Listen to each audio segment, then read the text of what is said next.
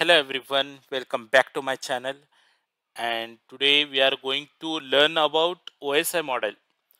So guys network engineer ಆಗಬೇಕು ಅಂತ ಕನಸಿದೆ ನಿಮ್ಮದು ನೆಟ್ವರ್ಕ್ ಇಂಜಿನಿಯರ್ ಆಗಬೇಕಂತ ಒಂದು ಅದರ ಮೇಲೆ ಫೋಕಸ್ ಮಾಡ್ತಾ ಇದ್ದೀರಾ. ನೀವು ಡೆಸ್ಕ್ಟಾಪ್ ಇಂಜಿನಿಯರ್ ಆಗಬೇಕು ಕಂಪ್ಯೂಟರ್ ಇಂಜಿನಿಯರ್ ಆಗಬೇಕು ಐ ಟಿ ಇಂಜಿನಿಯರ್ ಆಗಬೇಕು. ನೋಡಿ ಇದೆಲ್ಲ ಒಂದೇ ಪ್ರೊಫೈಲ್ ಟೈಪಲ್ಲಿ ಸೊ ಇದರಲ್ಲಿ ನೀವು ಇಂಟರ್ವ್ಯೂಸ್ ಅನ್ನ ಕೊಡ್ತಾ ಇದ್ದೀರಾ? ಓಕೆ ಸೊ ಇದರಲ್ಲಿ ನೀವು ನಿಮ್ಮ ಕರಿಯರನ್ನು ಐ ಟಿನಲ್ಲಿ ನೀವು ಹೆಚ್ಚು ಫೋಕಸ್ ಮಾಡ್ತಾ ಇದ್ದೀರಾ ಅಂದರೆ ನಿಮಗೆ ನೆಟ್ವರ್ಕ್ ಬಗ್ಗೆ ನಾಲೆಜ್ ಇರಲೇಬೇಕು. ಅದರಲ್ಲಿ ಒಂದು ಮೇನ್ ಟಾಪಿಕ್ ಅಂದರೆ O S I model so O S I model ಬಗ್ಗೆ ನಿಮಗೆ ತುಂಬ ಅಷ್ಟು ಇಂಟರ್ವ್ಯೂಸ್ ಅಲ್ಲಿ ಕ್ವಶನ್ಸ್ ಅನ್ನ ಕೇಳ್ತಾರೆ. ಸೊ ಇದರಲ್ಲಿ ನೀವು ಪರ್ಫೆಕ್ಟ್ ಆಗಲೇಬೇಕಾಗತ್ತೆ. ಓಕೆ ಸೊ ಗಾಯ್ಸ್ ಬನ್ನಿ ನೋಡೋಣ ಒ ಎಸ್ ಐ ಮಾಡೆಲ್ ಬಗ್ಗೆ. Okay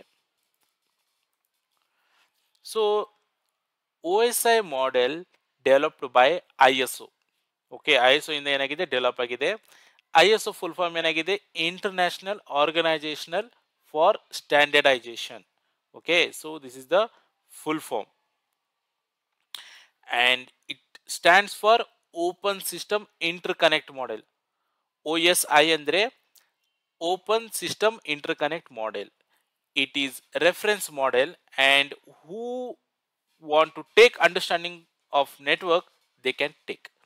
Like ಇದು ಒಂಥರ ರೆಫರೆನ್ಸ್ ಮಾಡೆಲ್ ನೋಡಿ, ಇದು ನಿಮಗೆ ಪ್ರಾಕ್ಟಿಕಲ್ ಆಗಿ ಎಲ್ಲೂ ಸಿಗಲ್ಲ O S I model O S I model ಅಂದರೆ ಒಂದು ರೀತಿ ರೂಲ್ಸ್ ಅಂತ ಹೇಳ್ಬೋದು. ಲೈಕ್ ಒಂದು ನೆಟ್ವರ್ಕಲ್ಲಿ ಯಾವ ರೀತಿ ಡೇಟಾ ಟ್ರಾನ್ಸ್ಫರ್ ಆಗುತ್ತೆ ನೆಟ್ವರ್ಕ್ ಯಾವ ರೀತಿ ವರ್ಕ್ ಆಗುತ್ತೆ ಇಂಟರ್ನೆಟಲ್ಲಿ ನಿಮ್ಮ ಮೆಸೇಜಸ್ ಯಾವ ಕಡೆಯಿಂದ, ಹೇಗೆ ಟ್ರಾನ್ಸ್ಫರ್ ಆಗ್ತಾ ಇದೆ ಮೆಸೇಜ್ ಯಾವ ರೀತಿ ಮೂವ್ ಆಗ್ತಾ ಇದೆ ಅನ್ನೋದನ್ನ ಒಂದು ಕಂಪ್ಲೀಟ್ ಆಗಿ ನಿಮಗೆ ಒಂದು ಬ್ಲೂ ಪ್ರಿಂಟ್ ಒಂದು ಅದರ ಬಗ್ಗೆ ಒಂದು ಅಂಡರ್ಸ್ಟ್ಯಾಂಡಿಂಗ್ ಅನ್ನ ಪ್ರೊವೈಡ್ ಮಾಡಲಿಕ್ಕೆ ಒಂದು ಪ್ರೊಸೆಸ್ ಇರೋದೇ O S I model okay so ಇವಾಗ ಗೊತ್ತಾಗಿರ್ಬೋದು ನಿಮ್ಗೆ ಎಷ್ಟು ಇಂಪಾರ್ಟೆಂಟ್ ಇದೆ ಅಂತ ಒಂದು ನೆಟ್ವರ್ಕ್ ಇಂಜಿನಿಯರ್ಗೆ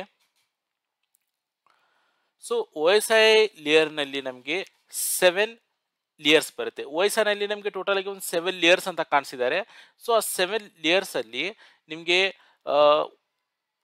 ಈ ರೀತಿ ನಾವು ಬರಿತೀವಿ. ನಿಮಗೆ ಇಲ್ಲಿ ಸ್ಕ್ರೀನಲ್ಲಿ ಕಾಣ್ಬೋದು ಅಲ್ವಾ ಸೊ ಈ ರೀತಿ ನಾವು ಬರಿತೀವಿ. ಸೊ ನಾವು ಯಾವತ್ತು ಸೆವೆನ್ ಲೈಕ್ ನಮ್ಮ ಲಾಸ್ಟ್ ಲೇಯರ್ ಏನಿದೆ ಟಾಪಲ್ಲಿ ಬರ್ತಾ ಇದೆ ಆ್ಯಂಡ್ ಫಸ್ಟ್ ಲೇಯರ್ ಬಂದ್ಬಿಟ್ಟು ಇಲ್ಲಿ ಕೆಳಗಡೆ ಬರ್ತಾ ಇದೆ. ಸೊ ಇದನ್ನು ಯಾವತ್ತ ಬರೆಯುವಾಗ ಇದೇ ರೀತಿ ಬರಿಬೇಕು ಓಕೆ ಬಟ್ ನಾವು ಅದ್ರ ಬಗ್ಗೆ ಡಿಸ್ಕಷನ್ ಇರಲಿ ಹೇಳುವಾಗ ನಾವು ಒನ್ನಿಂದನೇ ಹೇಳ್ತಾ ಸ್ಟಾರ್ಟ್ ಮಾಡಬೇಕು. So physical layer is our first layer ಅದರಲ್ಲಿ ಫಿಸಿಕಲ್ ಲೇಯರ್ ಬರುತ್ತೆ ಡೇಟಾ ಲಿಂಕ್ ಲೇಯರ್ ಬರುತ್ತೆ ನೆಟ್ವರ್ಕ್ ಲೇಯರ್ ಬರುತ್ತೆ ಟ್ರಾನ್ಸ್ಪೋರ್ಟ್ ಲೇಯರ್ ಬರುತ್ತೆ ಸೆಷನ್ ಲೇಯರ್ ಬರುತ್ತೆ presentation layer and application layer so ಈ ಪ್ರೊಸೆಸರ್ನ ಈಸಿ ಮಾಡೋಕ್ಕೋಸ್ಕರ ಏನು ಮಾಡಿದ್ದಾರೆ ಅಂದರೆ, ಎರಡು ಪಾರ್ಟಲ್ಲಿ ಡಿವೈಡ್ ಮಾಡಿದ್ದಾರೆ. One is upper layer upper layer ಅಂದರೆ ಅದರಲ್ಲಿ application layer presentation layer and session layer ಇವೆಲ್ಲ ಬಂದ್ಬಿಟ್ಟು upper layer basically upper layer ಬಂದ್ಬಿಟ್ಟು ಯಾರಿಗೆ? ಯೂಸರ್ಗೆ ಕ್ಲೋಸ್ ಆಗಿರುತ್ತೆ. ಇದು ಯೂಸರ್ ಜೊತೆ ಡೈರೆಕ್ಟ್ ಆಗಿ ಇಂಟ್ರಾಕ್ಟ್ ಮಾಡ್ತಾ ಇದೆ. ಓಕೆ ಸೊ ಅದೇ ರೀತಿ ಇದರಲ್ಲಿ ಲೋವರ್ ಲೇಯರ್ ಅಂದರೆ ಈಸ್ಟ್ ಪಾರ್ಟ್ ಏನಿದೆ ಅಲ್ವಾ ಇವೆಲ್ಲ ಬಂದ್ಬಿಟ್ಟು ಲೋವರ್ ಲೇಯರ್ ಅದರಲ್ಲಿ ನಮಗೆ physical layer data link layer network layer ಮತ್ತು ಟ್ರಾನ್ಸ್ಪೋರ್ಟ್ ಲೇಯರ್ ಬರುತ್ತೆ. ಸೊ ಲೋವರ್ ಲೇಯರ್ ಅಂದರೆ ನಾವು ಅದು ನೇ ಇದಕ್ಕೆ ನೆಟ್ವರ್ಕಿಂಗ್ ಪರ್ಪಸ್ಸಿಗೆ ಯೂಸ್ ಮಾಡ್ತಾರೆ. ಸೊ ನೀವು ನೆಟ್ವರ್ಕ್ ಇಂಜಿನಿಯರ್ ಆಗಬೇಕಂದ್ರೆ ನೀವು ಮೋಸ್ಟ್ಫುಲಿ ವರ್ಕ್ ಮಾಡೋದು ಲೋವರ್ ಲಿಯರ್ ಮೇಲೇನೆ. ಓಕೆ ಈಗ ಪ್ರೋಗ್ರಾಮರ್ ಇದ್ದೀರಾ ಡೆವಲಪರ್ಸ್ ಇದ್ದೀರಾ, ಇಲ್ಲಾಂದ್ರೆ ಎಥಿಕಲ್ ಹ್ಯಾಕಿಂಗ್ ಏನಾದರೂ ಮಾಡಬೇಕಂದ್ರೆ ನೀವು ಬಂದ್ಬಿಟ್ಟು ಅದರಲ್ಲಿ ಅಪ್ಪರ್ ಲೇಯರಲ್ಲಿ ವರ್ಕ್ ಮಾಡ್ತೀರಾ. ಬಟ್ ಕೋರ್ ನೆಟ್ವರ್ಕ್ ಮಾಡಬೇಕಂದ್ರೆ ನೀವು ವರ್ಕ್ ಮಾಡೋದೇ ಈ ಲೋ ಲೇಯರ್ನಲ್ಲಿ ಸರಿ? ಸೊ ಗೈಸ್ ಇವಾಗ ಅಪ್ಲಿಕೇಶನ್ ಲೇಯರ್ ಬಗ್ಗೆ ನೋಡೋಣ. ಅಪ್ಲಿಕೇಶನ್ ಲೇಯರ್ ಅಂದರೆ ನೋಡಿ, ಇವಾಗ ನೀವು ಒಂದು ಮೆಸೇಜನ್ನು ಮತ್ತೊಂದು ಯೂಸರ್ಗೆ ಒಂದು ಮೆಸೇಜನ್ನು ಕಳಿಸ್ತಾ ಇರ್ತೀವಿ. ಸೊ, ಆ ಮೆಸೇಜ್ ಏನಾಗ್ತಾ ಇದೆ? ಥ್ರೂ ಇಂಟರ್ನೆಟ್ ಟ್ರಾನ್ಸ್ಫರ್ ಆಗ್ತಾ ಇದೆ ಮೆಸೇಜ್. ನೀವು ಡೈರೆಕ್ಟಾಗಿ ಇಂಟರ್ನೆಟ್ಟಲ್ಲಿ ಹೋಗ್ಬಿಟ್ಟು ಒಂದು ಮೆಸೇಜನ್ನು ಸೆಂಡ್ ಮಾಡು ಅಂದರೆ ಸೆಂಡ್ ಮಾಡಲಿಕ್ಕಾಗತ್ತಾ? ಇಲ್ಲ, ಆಗಲ್ಲ. ಸೊ, ಅದಕ್ಕೆ ಏನು ಮಾಡ್ತೀರಾ? ಆ ಮೆಸೇಜನ್ನು ಸೆಂಡ್ ಮಾಡಲಿಕ್ಕೆ ನೀವು ಯಾವುದೋ ಒಂದು ಮೀಡಿಯೇಟರನ್ನು ಯೂಸ್ ಮಾಡ್ತೀರಾ? ಆ ಮೀಡಿಯೇಟರ್ ಬಂದ್ಬಿಟ್ಟು ನಿಮ್ಮ ವಾಟ್ಸಪ್ ಆಗಿರ್ಬೋದು ಫೇಸ್ಬುಕ್ ಮೆಸೆಂಜರ್ ಇರ್ಬೋದು ಎನಿ ಲೈಕ್ ತುಂಬ ಅಷ್ಟಿದೆ ಈ ರೀತಿ ಓಕೆ ಸೊ ಈ ಅಪ್ಲಿಕೇಶನ್ ಥ್ರೂ ಏನು ಮಾಡ್ತಾ ಇದ್ದೀರಾ? ಮೆಸೇಜನ್ನು ನೀವು ಒಂದು ಯೂಸರಿಂದ ಮತ್ತೊಂದು ಯೂಸರಿಗೆ ಕಳಿಸ್ತಾ ಇದ್ದೀರಾ. ಕರೆಕ್ಟ್ ಸೊ ಈ ಅಪ್ಲಿಕೇಶನ್ಗೆ ಮತ್ತು ನಿಮ್ಮ ನೆಟ್ವರ್ಕ್ಗೆ ಅದು ಏನು ಇಂಟ್ರಾಕ್ಷನ್ ಮಾಡಿಕೊಡ್ತಾ ಇದೆ, ಏನು ಇಂಟರ್ಫೇಸ್ ಅನ್ನ ಕೊಡ್ತಾ ಇದೆ ಅಲ್ವಾ, ಅದನ್ನು ಏನಂತೀವಿ? ಅಪ್ಲಿಕೇಶನ್ ಲಿಯರ್ ಅಂತೀವಿ. ಸೊ ಇಲ್ಲೇ ಬಂದ್ಬಿಟ್ಟು ನಿಮ್ಮ ಅಪ್ಲಿಕೇಶನ್ ಏನಾಗ್ತಾ ಇದೆ? ನೆಟ್ವರ್ಕ್ ಜೊತೆ ಕಂಬೈನ್ ಆಗ್ತಾ ಇದೆ? ನೆಟ್ವರ್ಕ್ ಜೊತೆ ವರ್ಕ್ ಮಾಡ್ತಾ ಇದೆ. ಕರೆಕ್ಟ್ ಸೊ ಅದೇ ರೀತಿ ನೀವು ಒಂದು ಮ್ಯಾಪನ್ನು ಸರ್ಚ್ ಮಾಡ್ತಾ ಇದ್ದೀರಾ. ಕರೆಕ್ಟ್. ಒಂದು ಮ್ಯಾಪನ್ನು ಸರ್ಚ್ ಮಾಡುವಾಗ ನೀವೇನು ಮಾಡ್ತೀರಾ, ಒಂದು ಗೂಗಲ್ ಕ್ರೋಮನ್ನು ಓಪನ್ ಮಾಡ್ಕೊಂಡಿರ್ತೀರಿ, ಅಲ್ಲಿ ಹೋಗ್ಬಿಟ್ಟು ಮ್ಯಾಪ್ ಅಂತ ಟೈಪ್ ಮಾಡ್ತೀರಿ. ಸೊ, ಅಲ್ಲಿ ಏನಾಗ್ತಾ ಇದೆ ನಿಮಗೆ, ಡೇಟಾ ಬಂದುಬಿಟ್ಟು ರಿಫ್ಲೆಕ್ಟ್ ಆಗ್ತಾ ಇದೆ. ಕರೆಕ್ಟ್. ಸೆಟಲೈನ್ ಸೆಟಲೈಟ್ ಇಂದ ಡೇಟಾ ಏನಾಗ್ತಾ ಇದೆ, ರಿಫ್ಲೆಕ್ಟ್ ಆಗ್ತಾ ಇದೆ. ಓಕೆ, ರಿಸಲ್ಟ್ ಬರ್ತಾ ಇದೆ. ಸೊ, ಆ ನೀವು ಸರ್ಚ್ ಮಾಡಲಿಕ್ಕೆ ಯೂಸ್ ಮಾಡಿದ್ದೆ ಗೂಗಲ್ ಕ್ರೋಮ್ ತಾನೇ. ಆ ಗೂಗಲ್ ಕ್ರೋಮಿಂದ ಡೇಟಾ ನಿಮಗೆ ಬರ್ತಾ ಇದೆ. ಸೊ, ಆ ಗೂಗಲ್ ಕ್ರೋಮ್ ಏನು? ಒಂದು ಅಪ್ಲಿಕೇಶನ್. ಗೂಗಲ್ ಕ್ರೋಮ್ ಇಂದ ನಿಮಗೆ ರಿಸಲ್ಟ್ ಬರ್ತಾ ಇದೆ. ಎಲ್ಲಿಂದ ನೆಟ್ವರ್ಕ್ ಅದು ಡೇಟಾ ರಿಸಲ್ಟ್ ಎಲ್ಲಿಂದ ಕೊಡ್ತಾ ಇದೆ? ಥ್ರೂ ನೆಟ್ವರ್ಕ್ ಇಂದ ಕೊಡ್ತಾ ಇದೆ. ಕರೆಕ್ಟ್ ಸೊ ಇಲ್ಲೇನಾಯಿತು? ಡೇಟಾ ಟ್ರಾನ್ಸ್ಫರ್ ಆಗ್ತಾ ಇದೆ ನೆಟ್ವರ್ಕ್ ಇಂದ ಬಟ್ ನಿಮಗೆ ಮೀಡಿಯೇಟರ್ ಆಗಿ ನಿಮಗೆ ಆ ಡೇಟಾ ನಿಮಗೆ ತಲುಪಿಸ್ತಾ ಇರೋದು ಆ ಅಪ್ಲಿಕೇಶನ್ ಸೊ ಐ ಹೋಪ್ ನಿಮಗೆ ಇದು ಕಂಪ್ಲೀಟ್ ಆಗಿ ಅರ್ಥ ಆಗಿರ್ಬೋದು. ನಾನು ಏನು ಹೇಳ್ತಾ ಇದ್ದೀನಿ ಅಂತ ಓಕೆ ಆ್ಯಂಡ್ ನೆಕ್ಸ್ಟ್ ನೋಡೋಣ. ಪ್ರೆಸೆಂಟೇಷನ್ ಲೇಯರ್ ಪ್ರೆಸೆಂಟೇಷನ್ ಲೇಯರ್ ಅಂತ ಹೇಳಿಕ್ ಹೋದ್ರೆ ಇವಾಗ ನೀವು ಗೂಗಲ್ ಕ್ರೋಮ್ ಅನ್ನು ಓಪನ್ ಮಾಡ್ಕೊಂಡಿದ್ದೀರಾ? ಆ ಗೂಗಲ್ ಕ್ರೋಮ್ ಅಲ್ಲಿ ನೋಡ್ಬೋದು ನಿಮಗೆ ಇಲ್ಲಿ ಫೋಟೋಸ್ ಬರ್ತಾ ಇದೆ. ಅಲ್ಲಿ ಗೂಗಲ್ ಅಂತ ಒಂದು ದೊಡ್ಡಕ್ಕೆ ಒಂದು ಬೇರೆ ಲೆಟರ್ ಅಲ್ಲಿ ಬರ್ದಿದ್ದಾರೆ. ಓಕೆ ಸೊ ಅದೇ ರೀತಿ H D M L languages ಬರ್ತಾ ಇದೆ. ಲೈಕ್ ಅಲ್ಲಿ ಏನಿದೆ? ಡಿಫ್ರೆಂಟ್ ಡಿಫ್ರೆಂಟ್ ಫೋಟೋಸ್ ಇದೆ, ಒಂದು ಕಾಲಮ್ಸ್ ಇದೆ. ತುಂಬಾಷ್ಟು ಅರೇಂಜ್ಮೆಂಟ್ಸ್ ಇದೆ ಕಾಣುತ್ತೆ ನಿಮಗೆ ಗೂಗಲ್ ಕ್ರೋಮ್ ಅಲ್ಲಿ. ಓಕೆ ಆ, ಒಂದೇ ಪೇಜಲ್ಲಿ ನಿಮಗೆ ಯೂಸರಿಗೆ ಅರ್ಥ ಆಗುವಂಗೆ ಯೂಸರ್ಗೆ ನಾವು ಈಸಿಲಿ ಆಗಿ ಕ್ಲಿಕ್ ಒಂದು ಕ್ಲಿಕ್ ಮಾಡಿಬಿಟ್ಟು ನಾವು ನಮ್ಮದು ವರ್ಕನ್ನು ಪರ್ಫಾರ್ಮ್ ಮಾಡಬೇಕು. ಸೊ ಈ ರೀತಿ ಒಂದು ಸ್ಕ್ರೀನನ್ನು ನಮಗೆ ಪ್ರೆಸೆಂಟ್ ಮಾಡ್ತಾ ಇದೆ ಅಲ್ವಾ? ಸೊ ಈ ವರ್ಕ್ ಮಾಡ್ತಾ ಇರೋದೇ ನಮ್ಮದು ಪ್ರೆಸೆಂಟೇಷನ್ ಕರೆಕ್ಟ್ ಸೊ ಇದರಲ್ಲಿ ಇದಷ್ಟೇ ಅಲ್ಲ. ಇದರಲ್ಲಿ ತುಂಬಾಷ್ಟು ವರ್ಕ್ ಬರ್ಬೋದು. ಲೈಕ್ ಇದರಲ್ಲಿ ನಿಮಗೆ ಎನ್ಕ್ರಿಪ್ಷನ್ ಬರುತ್ತೆ ಡಿಕ್ರಿಪ್ಷನ್ ಬರುತ್ತೆ ಕಂಪ್ರೆಷನ್ ಡಿಕಂಪ್ರೆಷನ್ ಸಿಂಕ್ರನೈಸೇಷನ್ ಇವೆಲ್ಲ ವರ್ಕನ್ನು ಏನು ಮಾಡ್ತಾ ಇದೆ? ಪರ್ಫಾರ್ಮ್ ಮಾಡುತ್ತೆ. ಸೊ ಅದರ ಜೊತೆ ಏನು ಮಾಡ್ತಾ ಇದೆ ಇದು?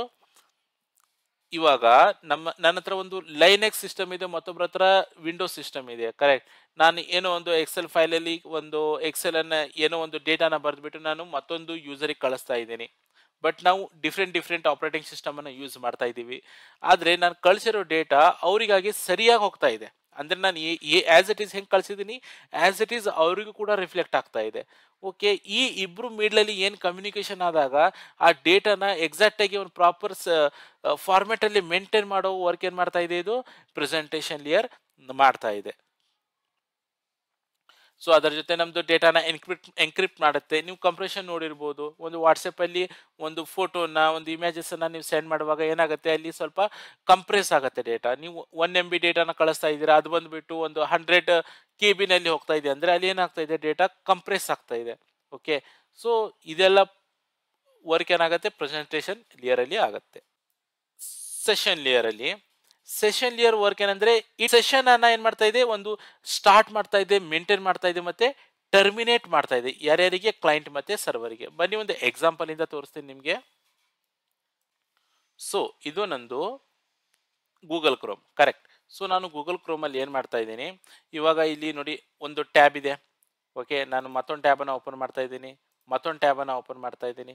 ಸೊ ನಾನು ಇಲ್ಲಿ ಬಂದ್ಬಿಟ್ಟು ಏನು ಮಾಡ್ತೀನಿ ಇವಾಗ, ಏನೋ ಒಂದು ಸರ್ಚ್ ಮಾಡ್ತೀನಿ ಇವಾಗ ಇಲ್ಲಿ ಲೈಕ್ ನಾನು ಇಲ್ಲಿ ಫೇಸ್ಬುಕ್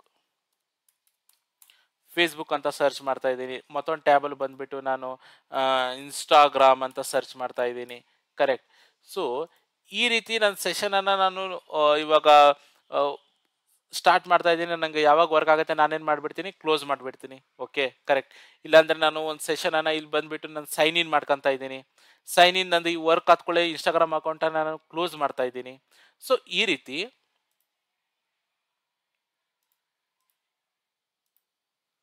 ಸೊ ಈ ರೀತಿ ಏನು ಮಾಡ್ತಾ ಇದೆ ನಮ್ದು ಸೆಷನ್ಸ್ ಅನ್ನ ಸ್ಟಾರ್ಟ್ ಮಾಡುತ್ತೆ ಮೇಂಟೈನ್ ಮಾಡುತ್ತೆ, ಮತ್ತೆ ಟರ್ಮಿನೇಟ್ ಮಾಡೋ ವರ್ಕ್ ಏನು ಏನ್ ಮಾಡ್ತಾ ಇದೆ ಸೆಷನ್ ಲಿಯರ್ ಮಾಡ್ತಾ ಇದೆ ಓಕೆ ಇದು basically like it's everything on the web is handle by using session layer so guys ಇವಾಗ ಟ್ರಾನ್ಸ್ಪೋರ್ಟ್ ಲಿಯರ್ ಬಗ್ಗೆ ನೋಡೋಣ. ಟ್ರಾನ್ಸ್ಪೋರ್ಟ್ ಲಿಯರ್ ಅಂದರೆ ನಿಮ್ಮದು ಎಕ್ಸಾಕ್ಟ್ ಆಗಿ ಡೇಟಾ ಟ್ರಾನ್ಸಾಕ್ಷನ್ ಆಗೋದೇ ಈ ಟ್ರಾನ್ಸ್ಪೋರ್ಟ್ ಲಿಯರ್ ಓಕೆ ಸೊ ಇವಾಗ ನೀವು ಮೊಬೈಲಲ್ಲಿ ಒಂದು ಮೂವಿನ ಡೌನ್ಲೋಡ್ ಮಾಡ್ತೀರಾ ಅಪ್ಲೋಡ್ ಮಾಡ್ತಾ ಇದ್ದೀರಾ, ಇದೆಲ್ಲ ಪ್ರೊಸೆಸ್ ಆಗ್ತಾ ಇರೋದೇ ಟ್ರಾನ್ಸ್ಪೋರ್ಟ್ ಲೇಯರ್ ಓಕೆ ಸೊ ಇಲ್ಲಿ ಏನಾಗ್ತಾ ಇದೆ ಅಂದರೆ ಟ್ರಾನ್ಸ್ಪೋರ್ಟ್ ಲೇಯರ್ನಲ್ಲಿ ಇದು ತುಂಬ ದೊಡ್ಡ ಟಾಪಿಕ್ ಇದೆ. ಇದ್ರ ಬಗ್ಗೆ ನಾನು ಟ್ರಾನ್ಸ್ಪೋರ್ಟ್ ಲೇಯರಿಗೆ ಒಂದು ನಾನು ಬೇರೆ ವಿಡಿಯೋನ ಮಾಡ್ತೀನಿ. ಅದರಲ್ಲಿ ನಾನು ನಿಮಗೆ ಡೀಟೇಲ್ ಆಗಿ ಕಂಪ್ಲೀಟ್ ಆಗಿ ಹೇಳ್ತೇನೆ ಟ್ರಾನ್ಸ್ಪೋರ್ಟ್ ಲೇಯರ್ ಎಕ್ಸಾಕ್ಟ್ ಆಗಿ ಏನು ಮಾಡುತ್ತೆ ಅಂತ. So as a fresher as a beginner ನೀವು ಜಸ್ಟ್ ಒಂದು ಬೇಸಿಕ್ ಒಂದು ಐಡಿಯಾವನ್ನು ಇಟ್ಕೊಂಡ್ರೆ ನಿಮಗೆ ನೆಕ್ಸ್ಟ್ ಈಸಿ ಆಗುತ್ತೆ. ಓಕೆ ನೆಕ್ಸ್ಟ್ ಆ ಟಾಪಿಕನ್ನು ಅರ್ಥ ಮಾಡ್ಕೊಳ್ಳಿಕ್ಕೂ ಕೂಡ ನಿಮಗೆ ಈಸಿ ಆಗುತ್ತೆ. ಓಕೆ ಸೊ ಇವಾಗ ನಾವು ಜಸ್ಟ್ ಬೇಸಿಕ್ ಆಗೇ ನೋಡೋಣ ಇದ್ರ ಬಗ್ಗೆ. ಕರೆಕ್ಟ್ ಸೊ ಇದೇನು ಮಾಡ್ತಾ ಇದೆ ಇವಾಗ ನೀವೇನು ಒಂದು ಮೆಸೇಜನ್ನು ಕಳಿಸ್ತಾ ಇದ್ದೀರಾ? ಹಾಯ್ ಟೀಮ್ ಅಂತ ಏನೋ ಒಂದು ಮೆಸೇಜನ್ನು ಕಳಿಸ್ತಾ ಇದ್ದೀರಾ? ಓಕೆ ಸೊ ಕಳಿಸುವಾಗ ಏನಾಗ್ತಾ ಇದೆ ಅಂದರೆ ಈ ಮೆಸೇಜಸನ್ನು ಡೇಟಾ ಲೇಯರ್ ಏನು ಮಾಡುತ್ತೆ ಇಲ್ಲಿ? ಡಿವೈಡ್ ಮಾಡ್ಕೊಳತ್ತೆ. ಒಂದು ಪಾರ್ಟ್ ಪಾರ್ಟ್ಸ್ ಆಗಿ ಡಿವೈಡ್ ಮಾಡ್ಕೊಳತ್ತೆ. ಓಕೆ ಸೊ ಒಂದೇ ಸಲ ಎಲ್ಲ ಮೆಸೇಜನ್ನು ಒಂದೇ ಸಲ ಕಳಿಸಲ್ಲ. ಓಕೆ ಸೊ ಏನು ಮಾಡ್ತಾ ಇಲ್ಲಿ? ಈ ಡೇಟಾ ಏನು ಪಾರ್ಟ್ ಪಾರ್ಟಾಗಿ ಕಳಿಸ್ತಾ ಇದೆಯೋ, ಈ ಪಾರ್ಟ್ಸನ್ನು ನಾವೇನಂತೀವಿ? ಡೇಟಾ ಯೂನಿಟ್ ಅಂತೀವಿ. ಆ್ಯಂಡ್ ಈ data unit for short form ಏನಾಗಿದೆ? ಡಿ ಯು ಅಂತ ಆಗಿದೆ ಸೊ ಈ ಪಾರ್ಟ್ ಪಾರ್ಟಲ್ಲಿ ಏನಿದು ಡಿವೈಡ್ ಮಾಡ್ಕೊಂತ ಇದೆಯಲ್ಲ, ಈ ಪ್ರೊಸೆಸನ್ನು ನಾವು ಏನಂತಿದ್ದೀವಿ ಸೆಗ್ಮೆಂಟ್ ಅಂತ ಹೇಳ್ತೀವಿ. ಕರೆಕ್ಟ್ ಸೆಗ್ಮೆಂಟ್ ನೋಡಿ, ಇದು ತುಂಬ ಇಂಪಾರ್ಟೆಂಟ್ ಇದರಲ್ಲಿ. ಸೊ ಡೇಟಾ ಲಿಂಕ್ ಏನು ಮಾಡ್ತಾ ಇದೆ? ಡೇಟಾನ ಡಿವೈಡ್ ಮಾಡ್ತಾ ಇದೆ. ಆ ಡಿವೈಡ್ ಮಾಡೋ ಪ್ರೊಸೆಸನ್ನು ಏನಂತ ಹೇಳ್ತಾ ಇದ್ದೀವಿ ನಾವು? ಸೆಗ್ಮೆಂಟ್ ಅಂತ ಹೇಳ್ತಾ ಇದ್ದೀವಿ ಓಕೆ ಸೊ ಇದರಲ್ಲಿ ಇನ್ನೂ ತುಂಬ ಇದೆ. ಇದರಲ್ಲಿ ನಿಮಗೆ ಬೇಸಿಗಾಗಿ T C P and U D P ಅಂತ ಒಂದು ಮೇನ್ ಟು ಪೋರ್ಟ್ಸ್ ಬರುತ್ತೆ. ಓಕೆ ಸೊ ಇದ್ರ ಬಗ್ಗೆ ನಾವು ಅದೇ ನೆಕ್ಸ್ಟ್ ಒಂದು ಡೀಟೇಲ್ ವಿಡಿಯೋ ಮಾಡಿಬಿಟ್ಟು ಅದರಲ್ಲಿ ನಾನು ನಿನಗೆ ನಿಮಗೆ ಇದ್ರ ಬಗ್ಗೆ ಸರಿಯಾಗಿ ಐಡಿಯಾ ಕೊಡ್ತೀನಿ. ಕರೆಕ್ಟ್ ಆ್ಯಂಡ್ ನೆಕ್ಸ್ಟ್ ಬಂದುಬಿಟ್ಟು ನೆಟ್ವರ್ಕ್ ಲೇಯರ್ ನೆಟ್ವರ್ಕ್ ಲೇಯರ್ ಅಂದರೆ ಇದರಲ್ಲಿ ಬೇಸಿಕ್ ವರ್ಕ್ ಆಗೋದೇ ಫಂಕ್ಷನ್ ಆಗೋದೇ ಐ ಪಿ ನೆಟ್ವರ್ಕ್ ಅಂದರೆ ಐ ಪಿ ಇವಾಗ, ನೀವು ಒಬ್ಬರಿಗೆ ಕಾಲ್ ಮಾಡ್ತಾ ಇರ್ತೀರ ಒಬ್ಬರಿಗೆ ಮೊಬೈಲಿಗೆ ಕಾಲ್ ಮಾಡುವಾಗ ಅವರಿಗೇನಿದೆ ಒಂದು ಮೊಬೈಲ್ ನಂಬರ್ ಇದೆ. ಕರೆಕ್ಟ್ ನಿಮ್ಮ ಹತ್ರ ಅವ್ರ ಮೊಬೈಲ್ ನಂಬರ್ ಇದೆ, ಅವ್ರ ಹತ್ರ ಇದೆ. ಸೊ ಅವರಿಗೆ ಮಾತಾಡುವಾಗ ನೀವೇನು ಮಾಡ್ತೀರಾ? ಅವ್ರ ಮೊಬೈಲನ್ನು ನಿಮ್ಮ ಮೊಬೈಲಲ್ಲಿ ಟೈಪ್ ಮಾಡಿದರೆ ನಂಬರನ್ನು ಅವರಿಗೆ ಕಾಲ್ ಹೋಗ್ತಾ ಇದೆ. ಸೊ ಅದೇ ರೀತಿ ಒಂದು ಕಂಪ್ಯೂಟರ್ ಮತ್ತೊಂದು ಕಂಪ್ಯೂಟರ್ ಜೊತೆ ಇಂಟ್ರ್ಯಾಕ್ಟ್ ಮಾಡಬೇಕು. ಒಂದು ಕಂಪ್ಯೂಟರ್ ಮತ್ತೊಂದು ಕಂಪ್ಯೂಟರ್ಗೆ ಕಮ್ಯುನಿಕೇಟ್ ಮಾಡಬೇಕಂದ್ರೆ ಮಿಡ್ಲಲ್ಲಿ ಏನಾದರೂ ಒಂದು ಬೇಕು ತಾನೆ? ಓಕೆ ಸೊ ಅದೇ ರೀತಿ ನೀವು ಒಂದು ವಾಟ್ಸಪ್ಪಲ್ಲಿ ಒಂದು ಮೆಸೇಜ್ ಕಳಿಸ್ತಾ ಇದ್ದೀರಾ. ಇಂಟರ್ನೆಟ್ ಥ್ರೂ ಕಳಿಸ್ತಾ ಇದ್ದೀರಾ ಅಂದರೆ, ಆ ಇಂಟರ್ನೆಟ್ಟಿಗೂ ಕೂಡ ಐಡೆಂಟಿಫಿಕೇಶನ್ಗೆ ಏನಾದರೂ ಒಂದು ಬೇಸಿಕ್ ಏನಾದರೂ ಮೀಡಿಯಾ ಬೇಕು ತಾನೇ, ಈ ನಾನು ಯಾರಿಗೆ ಹೋಗಿ ರೀಚ್ ಆಗಬೇಕು, ಯಾರಿಗೆ ಐಡೆಂಟಿಫೈ ಮಾಡಬೇಕು ಅನ್ನೋದು. ಸೊ ಈ ಇಂಟರ್ನೆಟ್ ವರ್ಲ್ಡಲ್ಲಿ ಐಡೆಂಟಿಫಿಕೇಶನ್ ಮಾಡಲಿಕ್ಕೆ ನಾವು ಯೂಸ್ ಮಾಡೋದೇ ಐ ಪಿ ಅಡ್ರೆಸ್ ನೋಡಿ, ಇದಕ್ಕೊಂದು ಡಿಫ್ರೆಂಟ್ ಐ ಪಿ ಇರುತ್ತೆ ಓಕೆ ಈ ಸಿಸ್ಟಮಿಗೆ ಒಂದು ಡಿಫ್ರೆಂಟ್ ಟೈಪ್ ಇರುತ್ತೆ. ಅದೇ ರೀತಿ ನಿಮ್ಮ ಮೊಬೈಲ್ಸಲ್ಲಿ ನೋಡಿ ನೀವು ನೆಟ್ವರ್ಕ್ ರಿಚಾರ್ಜ್ ಮಾಡ್ತೀರಲ್ವಾ ರಿಚಾರ್ಜ್ ಮಾಡಿದಾಗ ಅಲ್ಲೂ ಕೂಡ ನಿಮಗೆ ಒಂದು ಕೂಡ ಐ ಪಿ ಬಂದಿರುತ್ತೆ. ಸೊ ಇಂಟರ್ನೆಟ್ ವರ್ಲ್ಡಲ್ಲಿ ಏನೋ ಕಮ್ಯುನಿಕೇಷನ್ ಆಗ್, ಆಗ್ತಾ ಇರೋದೇ ಈ ಐ ಪಿಯಿಂದ ಓಕೆ ಆ್ಯಂಡ್ ಸೊ ಈ ರೀತಿ ಡೀಟೇಲ್ಸನ್ನು ಏನು ಇಟ್ಕೊತಾ ಇದೆ? ನೆಟ್ವರ್ಕ್ ಲೇಯರ್ ಇಟ್ಕೊತಾ ಇದೆ. ಓಕೆ ಸೊ ಇವಾಗ data link layer so data link ಲೇಯರಲ್ಲಿ ಏನಾಗ್ತಾ ಇದೆ? ಮ್ಯಾಕ್ ಅಡ್ರೆಸ್ ಅಂತ ಬರುತ್ತೆ ಮೇನಾಗಿ ಮ್ಯಾಕ್ ಅಡ್ರೆಸ್ ಇದು ಒಂದು ಪರ್ಮನೆಂಟ್ ಅಡ್ರೆಸ್ ಮ್ಯಾಕ್ ಅಡ್ರೆಸ್ ಏನಾಗ್ತಾ ಇದೆ? ಇದು ಬರೀ ಐ ಪಿಯಿಂದ ಅಷ್ಟೇ ಡೇಟಾ ಟ್ರಾನ್ಸಾಕ್ಷನ್ ಆಗಲ್ಲ. ಇಲ್ಲಿ ಮ್ಯಾಕ್ ಇಂದನೂ ಕೂಡ ಡೇಟಾ ಟ್ರಾನ್ಸಾಕ್ಷನ್ ಆಗುತ್ತೆ. ಲೈಕ್ ಐ ಪಿ ಮತ್ತು ಮ್ಯಾಕ್ ಏನಾಗುತ್ತೆ ಇಲ್ಲಿ? ಕಂಬೈನ್ ಆಗುತ್ತೆ. ಓಕೆ ಸೊ ಐ ಪಿ ಹೌದು. ಐ ಪಿ ನೋಡಿ ಒಂದು ಸಿಸ್ಟಮ್ನಲ್ಲಿ ಫಿಕ್ಸ್ ಆಗಿರಲ್ಲ. ಐ ಪಿ ಏನಾಗ್ತಾ ಇರುತ್ತೆ? ಚೇಂಜಸ್ ಆಗ್ತಾ ಇರುತ್ತೆ. ಓಕೆ? ಸೊ, ಅದೇ ರೀತಿ ಮ್ಯಾಕ್ ಏನಾಗುತ್ತೆ? ಯಾವುದೇ ಒಂದು ಸಿಸ್ಟಮ್ ಇದ್ರೆ ಅದರಲ್ಲಿ ಫಿಕ್ಸ್ ಆಗಿರುತ್ತೆ. ಅದು ಚೇಂಜಸ್ ಆಗಲ್ಲ. ಒಂದು ಡಿವೈಸಿಗೆ ಒಂದು ಯುನೀಕ್ ಐಡಿಯಾ ಆಗಿರುತ್ತೆ. ಸೊ, ಏನು ಮಾಡ್ತಾ ಇದೆ? ಐ ಪಿ ಮತ್ತು ಈ ಮ್ಯಾಕ್ ಅಡ್ರೆಸ್ ಏನಾಗುತ್ತೆ ಅಲ್ಲಿ? ಸೇರಿಬಿಟ್ಟು ಒಂದು ನೆಟ್ವರ್ಕನ್ನು ಏನು ಮಾಡ್ತಾರೆ? ಲೈಕ್ ಒಂದು ಐಡೆಂಟಿಟಿನ ಮಾಡ್ಕೊತಾರೆ. ಒಂದು ಐಡೆಂಟಿಟಿ ಮಾಡ್ಕೊಂಬಿಟ್ಟು ಒಂದು ನೆಕ್ಸ್ಟ್ ಸಿಸ್ಟಮ್ಗೆ ನೀವು ಅವರಿಂದ ರೆಸ್ಪಾನ್ಸ್ ಬರಬೇಕು ಇಲ್ಲಾಂದರೆ ಅವ್ರಿಗೆ ಏನಾದರೂ ನೀವು ಮೆಸೇಜನ್ನು ಕಳಿಸ್ಬೇಕು ಅಂದರೆ ಒಂದು ಐಡೆಂಟಿಟಿ ಕ್ರಿಯೇಟ್ ಮಾಡ್ಕೊಂಬಿಟ್ಟು ಅವರಿಗೆ ಮೆಸೇಜನ್ನು ಕಳಿಸ್ತಾರೆ. ಕರೆಕ್ಟ್ ಸೊ ಇದು ಡೇಟಾ ಲಿಂಕ್ ಕ್ಲಿಯರ್ ಆಗುತ್ತೆ. ಸೊ ಅದೇ ರೀತಿ ಫಿಸಿಕಲ್ ಲೇಯರ್ ಅಂತ ಹೇಳಿಕ್ ಹೋದರೆ ನಾವು ಫಿಸಿಕಲ್ ಲೇಯರ್ ಮೇನಾಗಿ ವರ್ಕ್ ಆಗೋದೇ ಲೈಕ್ ಯಾವ ರೀತಿ ಅಂದರೆ ಎಲ್ಲ ಡಿವೈಸ್ ಆಯಿತು. ಒಂದು ಅಪ್ಲಿಕೇಶನ್ ಲೇಯರಲ್ಲಿ ಒಂದು ಸಾಫ್ಟ್ವೇರಲ್ಲಿ ಒಂದು ಮೆಸೇಜನ್ನು ಬರ್ಕೊಂಡಿದ್ದೀರಾ? ಓಕೆ ಅದೇ ರೀತಿ ಪ್ರೆಸೆಂಟೇಷನ್ ಲೇಯರಲ್ಲಿ ನೀವೇನು ಮಾಡಿದ್ದೀರಾ?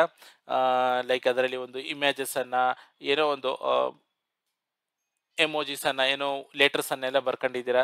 ಸೆಕ್ಷನ್ ಲೇಯರಲ್ಲಿ ನೀವು ಸ್ಟಾರ್ಟ್ ಮಾಡಿದ್ದೀರಾ ನಿಮ್ಮ ಸೆಷನನ್ನು ಓಕೆ ಅದೇ ರೀತಿ ಟ್ರಾನ್ಸ್ಪೋರ್ಟ್ ಲೇಯರಲ್ಲಿ ನೀವು ಸೆಂಡ್ ಮಾಡಿದ್ದೀರಾ? ಅದು ಡಿವೈಡ್ ಆಗಿದೆ. ನೆಟ್ವರ್ಕ್ ಲೇಯರಲ್ಲಿ ಯಾರಿಗೆ ನೀವು ಮೆಸೇಜನ್ನು ಕಳಿಸ್ಬೇಕು ಅನ್ನೋದನ್ನು ವಿತ್ ಡೇಟಾ ಲಿಂಕ್ ಜೊತೆ ಕಂಬೈನ್ ಆಗಿ ಏನು ಮಾಡಿದೆ ಇದು ಒಂದು ಐಡೆಂಟಿಟಿನ ರೆಕಗ್ನೈಸ್ ಮಾಡಿದೆ.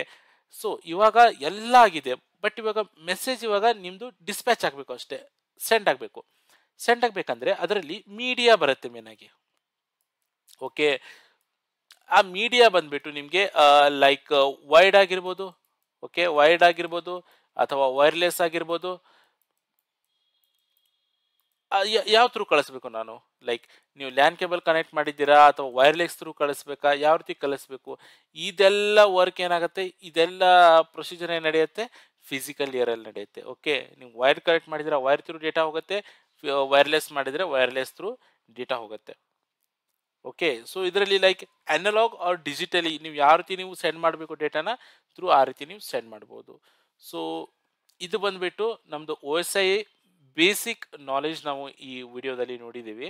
ಓಕೆ ಇದ್ರ ಮೇಲೆ ನಾನು ಮತ್ತೊಂದಿಷ್ಟು ನೆಟ್ವರ್ಕಿಂಗ್ ಇದರಲ್ಲಿ ವಯಸ್ಸ ಬಗ್ಗೆ ನಾನು ಒಂದು ಡೀಪ್ ವಿಡಿಯೋ ಕೂಡ ನಾನು ತರ್ತೀನಿ. ಓಕೆ ಸೊ ಬೇಸಿಕಿಂದ ನಾವು ಸ್ಟಾರ್ಟ್ ಮಾಡಿದ್ರೆ ನಾವು ಈಸಿಲಿಯಾಗಿ ನೆಟ್ವರ್ಕನ್ನು ಅಂಡರ್ಸ್ಟ್ಯಾಂಡ್ ಮಾಡ್ಕೋಬಹುದು. ಸೊ ಈ ಫೀಲ್ಡಲ್ಲಿ ನಾವು ನೆಕ್ಸ್ಟ್ ಗ್ರೋತನ್ನು ಕಾಣ್ಬೋದು, ನಮಗೆ ಜಾಬ್ ಕೂಡ ಸಿಗತ್ತೆ. Correct so guys I hope ನಿಮಗೆ ಅರ್ಥ ಆಗಿರ್ಬೋದು ಅನ್ಕೊಂತೀನಿ. ನಿಮ್ಗೇನಾದರೂ ಡೌಟ್ ಇದ್ದರೆ ನೀವು ಚ ಕಮೆಂಟಲ್ಲಿ ಹೋಗಿ ಕಮೆಂಟಲ್ಲಿ ನನಗೆ ಕ್ವಶನನ್ನು ಕೇಳಿ ಓಕೆ ಅಲ್ಲಿ ಡೌಟನ್ನು ಕ್ಲಿಯರ್ ಮಾಡ್ಕೋಬೋದು ನಾವು ಓಕೆ ಅದರ ಜೊತೆ ನಾನು ಇದ್ರ ಬಗ್ಗೆ ಏನು ನೋಟ್ಸ್ ಇದೆ ನಾನು ಡಿಸ್ಕ್ರಿಪ್ಷನಲ್ಲಿ ಹಾಕ್ತೇನೆ. ನಾನು ನೋಟನ್ನು ನೋಟ್ಸನ್ನು ನಾನು ನಿಮಗೆ ಪ್ರೊವೈಡ್ ಮಾಡ್ತೀನಿ. ಇಲ್ಲಿ ಯಾಕಂದರೆ ಇಲ್ಲಿ ಎಕ್ಸಾಕ್ಟಾಗಿ ಬರೀಲಿಕ್ಕಾಗಲ್ಲ ಎಲ್ಲ ನೋಟ್ಸನ್ನು okay see you guys in next lecture